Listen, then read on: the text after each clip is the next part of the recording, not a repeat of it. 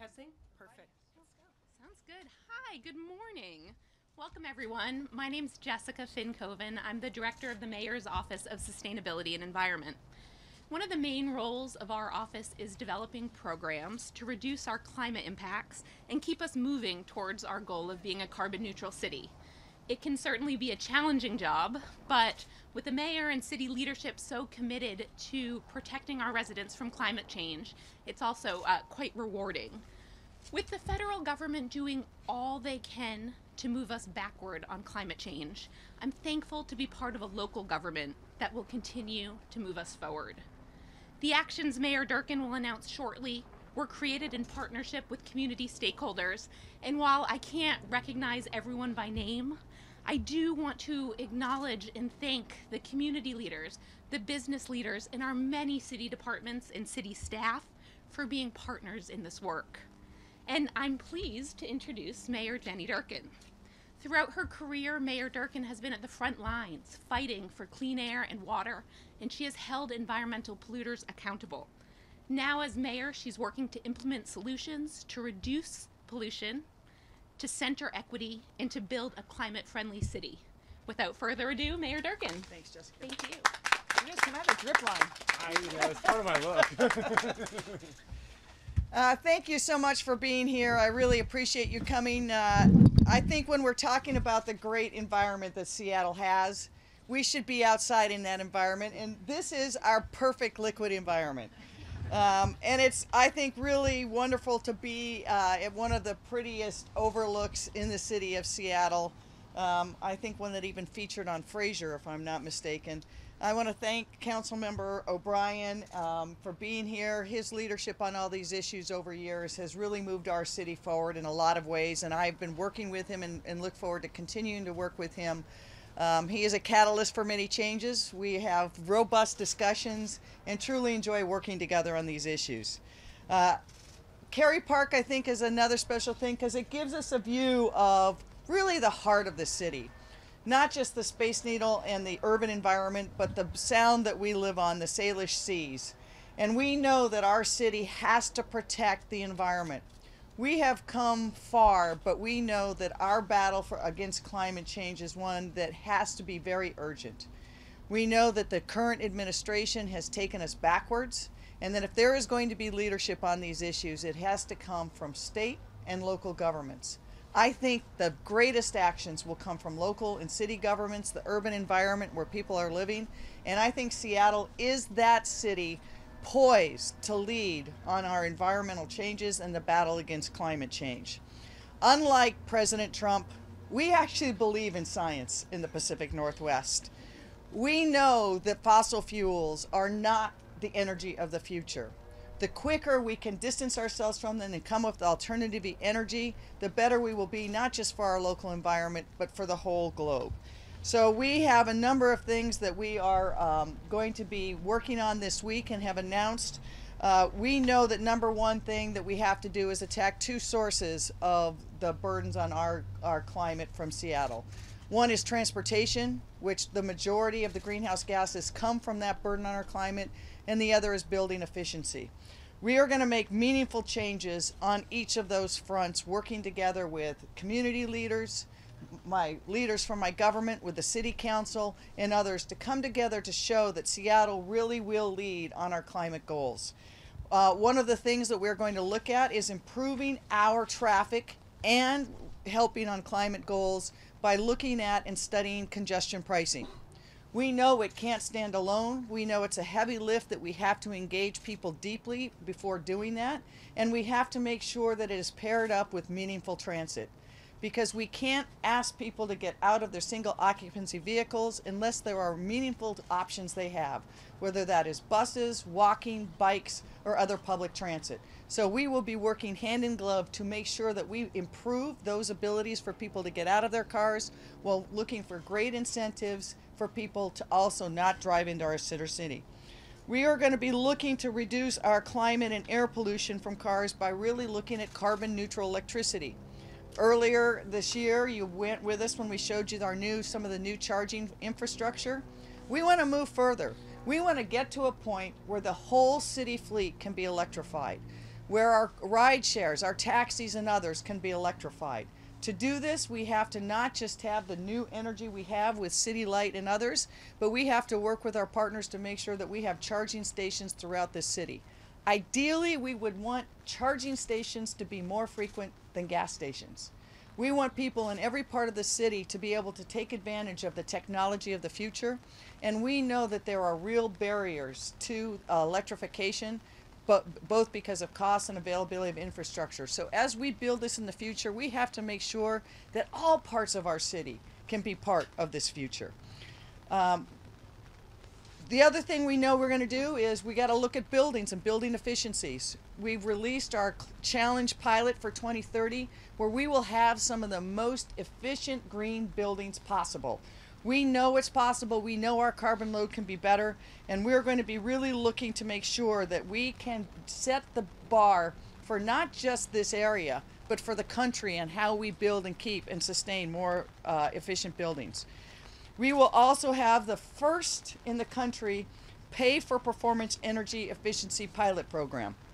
That also, we're going to have to implement that, but I thank Jessica for her leadership on this um, and also with the Bullitt Foundation who have shown how these how we can have buildings that are not only efficient but are actually energy positive, not just neutral. We know we have to move us as a city away from our dependence on fossil fuels. One of the ways we have to do that is too many homes are still dependent on heating oil. So we're going to have programs in place to help people move from heating oil to more efficient and clean energy. I look forward to doing all of these things and, and stress that as we do it, we have to know as a city that all of this has to be done through the lens of equity. We must make sure that as we move forward in the new generation of technology, that we are making sure it's accessible for everyone in our city and really do this through the lens of our race and social justice initiative. Because if we do that, we can lift up everyone in this city and lead our nation forward. So with that, I think that I would like to also now introduce Council Member O'Brien, who has some remarks on, on these issues as well. After that, we'll hear from Sabrina, and then after that, Jessica. Am I going to wrap up, or are you going to wrap up? you're gonna I'm wrap wrap up. up, and we'll take a few questions and answers. So thank you very much. And Mike, your sh- your turn. Thank you, Mayor. Um, so, about a year ago, Donald Trump said he was going to withdraw the United States from the Paris Climate Accord, leaving the United States of America the only country on this planet not participating in this global effort to reduce carbon emissions. When that happened, the city of Seattle joined with other cities, counties, and states around the country to swiftly step forward and say, we are going to do our part. Despite what our president says, the people of the United States of America are going to participate in this global effort. The City Council passed a resolution committing us to do that, and we asked Jessica and her team at the Office of Sustainability and Environment to come up with a path forward so Seattle can be doing its part. I am thrilled to stand here today with Mayor Durkan to see these bold announcements and commitments that we are making as a city of Seattle. You know, the people of this region have long been fighters, fighting to protect the Arctic from oil drilling, fighting new pipelines, fighting coal exports coming through our communities. But we know that if we're going to solve climate change, we also have to make changes right here in our community. And sometimes those are the hardest things to do when we're talking about changing the future. The commitments that uh, Mayor Durkan made today and that we're going to execute in the coming years are the types of commitments that are necessary for a city of Seattle to be the true leader on climate change. And I'm thrilled to be part of this city, and I'm excited to working for with you all um, and all the people of Seattle to make this happen. Um, I want to let uh, introduce uh, Sabrina Villanueva from uh, District 2030, which is a group of private, um, the private sector, private building owners who are doing some amazing work to make sure that the private sector is part of the solutions too. Sabrina. Good morning. My name is Sabrina Villanueva. I would like to thank Mayor Durkan, Councilmember O'Brien, and all of you here today for your efforts towards initiating a new chapter in Seattle's response to climate change. As chair for Seattle 2030 District, we're, we are committed to harnessing the power of the private sector to really champion sustainability in the built environment. Programs announced today are really exciting and bold announcements. It, it's a new opportunity to have a cool partnership with the city. and we welcome the 2030 Challenge pilot, which uses the district's goals as a measuring stick for incentivizing highly efficient renovations in return for deep green investments. These projects will lead to greater energy and water efficiency, stormwater management, as well as substantially lower carbon emissions com- from commuting. Our organization has worked very closely with the city to create an attractive and environmentally effective pilot. We are also excited that the city, that Seattle City Light um, will be launching a groundbreaking program that will reward energy performance in a whole new way.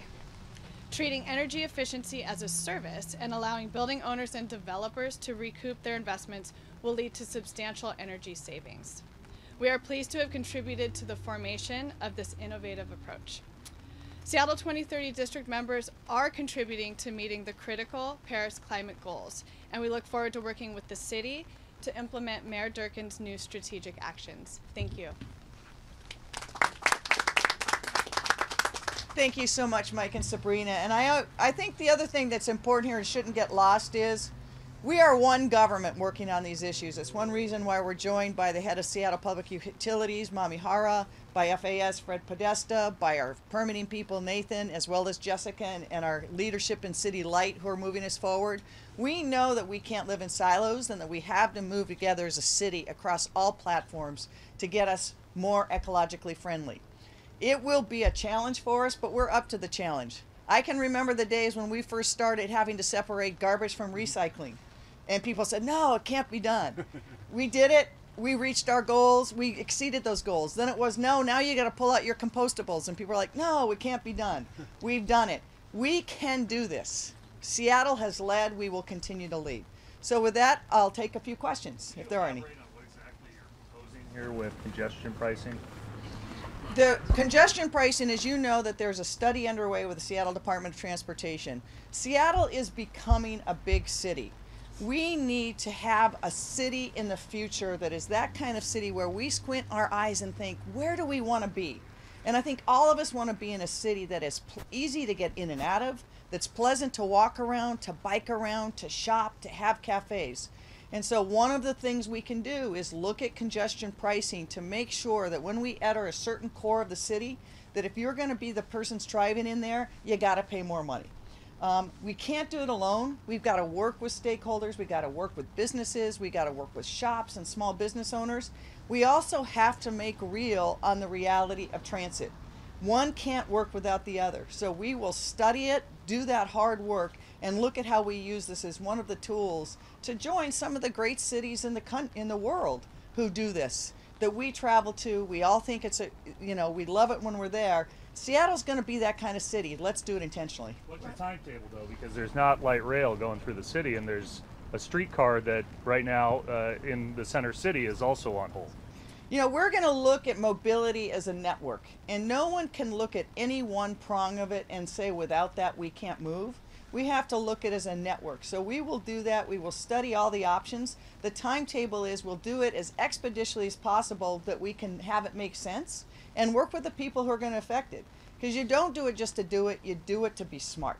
But how can you justify congestion pricing at all? Are you escalating a war on cars? No, absolutely not. To, to the contrary, those people who will be driving in their cars that have to use their cars and those systems find that it's actually more efficient and more effective. What we want to do is get people out of single occupancy vehicles into other alternatives. To do that, we have to have other alternatives that are real. You know, there was a lot of questions, for example, this week on the new parking regulations. We made very clear that my position was if we're really going to reduce the amount of parking because there's frequent transit service, we have to really believe that there will be frequent transit service. Our studies show more and more people are getting out of their cars, they're getting on buses, they're getting on light rail, they're biking, they're walking. If it's a safe and real alternative, if we make it a safe and real alternative, that will happen, so we have to do it in conjunction with that. Mayor, what are the real alternatives, and is part of your study to look at some of those? We're looking at all those alternatives. We're building those types of infrastructures as we speak. As we know, we are going to be in a period of maximum constraint as we have these mega projects coming online. Those mega projects are going to create mega gridlock if we don't start doing something different and innovative. Through a lens of equity where people who have the money to pay are the ones who actually get access to the downtown. That's why we have to make sure we do deep outreach to communities and we have real alternatives so people who don't have that ability have the same accessibility into our inner core in every part of our city. We also have to make sure that we're looking at routes we don't often talk about. It's really difficult, for example, to get east west in Seattle. Um, so we're going to use, a, working with the council and others, we're going to look at creative solutions, both short term and long term, to provide more mobility. There is nobody, there is nobody, no matter how they travel right now, whether it's bus, car, bike, or foot, that isn't frustrated. And we know that, and what we want to do is address that so that as we work through these difficult periods of growth in Seattle, we get to that city that figures it out during that period of time. Madam Mayor, would there be some sort of exemption for people who truly are small business, truly are low income, but need their car to conduct the business? Maybe it's a small cleaning service. I, I think it's way too early to talk about exemptions because we don't know what it's going to look like. We got to study it, we got to talk to people, and we got to listen to people. You know, I've said it over and over again, and I really mean it. It's not going to be top down government. We are going to listen to people and learn about where these challenges are, whether they're equity challenges or business challenges. And we're going to craft our policies to try to make this the best city for everyone. Thank you very much for being here. Thank you very much. That's a great song. It's so great to meet you. That's so great. You guys are. It's going to be exciting. Yeah, we're really excited for the pilot program.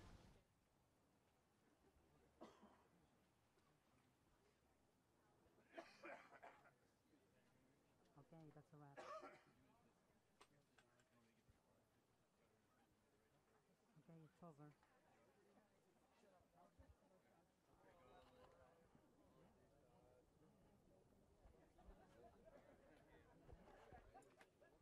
I have to wait, right? No, we're done.